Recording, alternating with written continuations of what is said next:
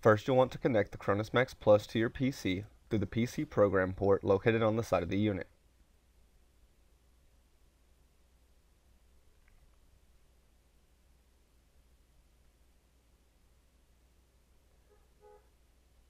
You will then need to open the Cronus Pro software suite and navigate to the Tools menu and then Options. And then you'll go into the Device tab. Here you'll change the output protocol to XB360 and close the window.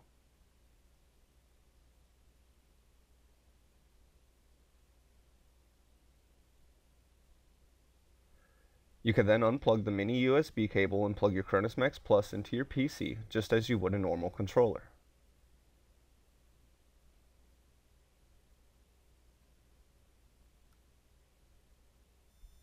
Next you'll want to plug in your Bluetooth adapter.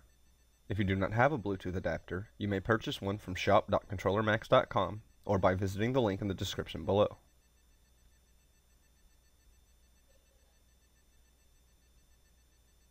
The final step is to press the PS button on your controller so that it will connect to your device.